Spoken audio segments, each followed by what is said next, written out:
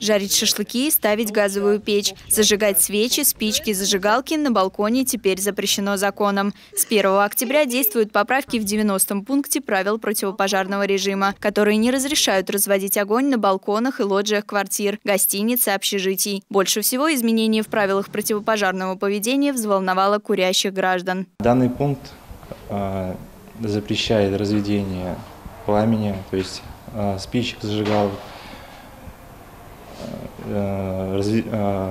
разжигание свеч.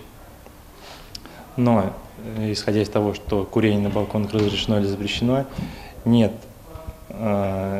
запрета на курение на балконах. В правилах противопожарного режима такого пункта нет.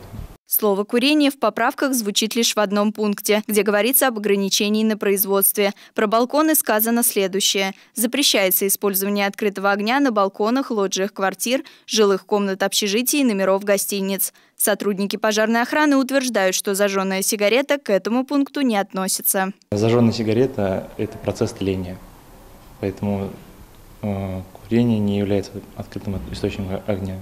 Это не значит, что за курение на балконе человек не понесет ответственности. Если сигарету не потушили и что-то загорелось в вашей или соседской квартире, виновника накажут штрафом до 5000 рублей. В некоторых случаях действия могут расценить как уголовное преступление. Квартира, в которой проживает гражданин, а, может пострадать крупно от воздействия а, опасных источников пожара, может пострадать ниже лежащая квартира, выше лежащая квартира, тем самым причинив ущерб. А если ущерб будет превышать определенную сумму, то возможно будет введено уголовное дело по причине неосторожного обращения при курении.